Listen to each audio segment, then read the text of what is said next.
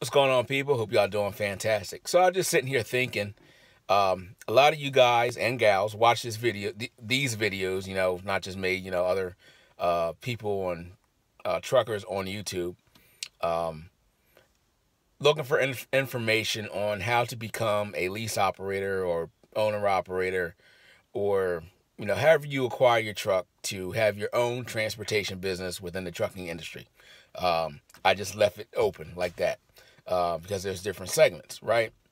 So, and a lot of time, well, no, all, all the time, if you haven't experienced, you know, you haven't made that step, you haven't experienced the pretty much the business side of things that, you know, it's, it, it's hard to grasp just from watching somebody on the, the video, uh, taking in information that, you know, it, it really doesn't process until you're actually in that particular situation.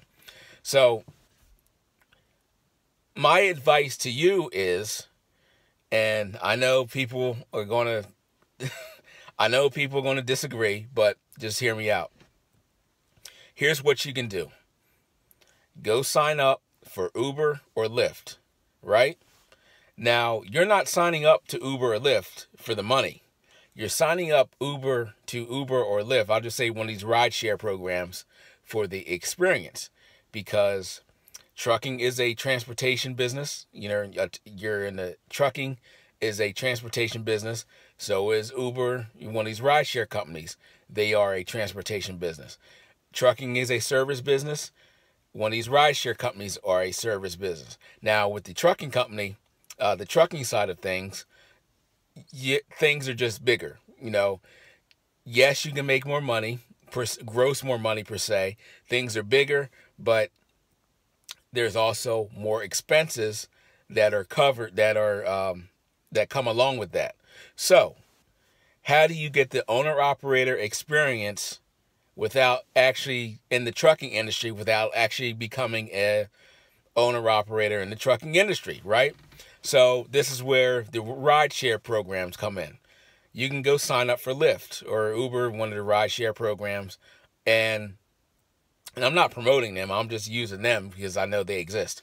You can go sign up for one of them and check this out. They will lease you a car because I know some of you are just gung ho about leasing a truck. So go lease a car from Uber, right? Um, go lease a car and go out and make a profit. I didn't say make money. I said make a profit. You know, uh, you're going to learn logistics. You're going to learn, you know, dealing with people.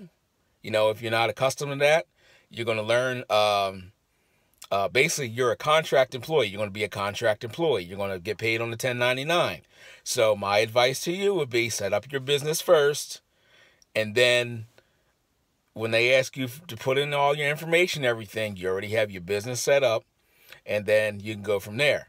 So now, instead of you um, instead of you just jumping right into you know the trucking side of things as you know being an owner operator or whatever now you can just start out on the uber side because again like i said it's not about the money it's about the experience. And if you can if you can understand the fundamentals about how to run excuse me understand the fundamentals Shouts out to HT Logistics. The fundamentals of operating your business and running your business on the Uber side, then you can take what you learned over there and then you can bring it over here to, you know, uh, one of these uh, uh, trucking companies. Now, believe it or not, it's all the same. Now, what do I mean by it's all the same? If you, most people, when they get into the trucking business, they lease on to somebody. So if you're leased on, you get paid a 1099. You're just using the company's authority. Uh, and pretty, pretty much you pay for everything else. How does Uber work? You're using the uh, the Uber's authority, you know, pretty much, even though you don't really have to have an authority for the, you know, the taxi thing, but you're using their authority. You know, you're using their their insurance and all that kind of stuff, uh, like uh, their uh, commercial insurance. So you're a contractor under them. Same thing. You get paid 1099. You leased on somebody, get paid a 1099. So it, essentially, everything it's all the same. The only thing is different is the infrastructure is set up a little bit different. You know, instead of hauling freight, you're hauling people. Um, so th- hopefully this is just uh, helps you understand, you know, and and maybe guide somebody in the right steps, you know, to becoming a business owner. Because at the end of the day, anybody can be an owner operator and pull freight, you know, all day long. It's not the the the problem. The issue is not there's no freight. The issue is there's plenty of freight, but it all doesn't pay what it needs to pay. So, uh, if you want to get that type of experience, my suggestion would be to go over to Uber, sign up, Uber, Lyft, whatever. I don't know all of them. Sign up, uh, and see if you can turn a profit. And also, it's going to teach you logistics.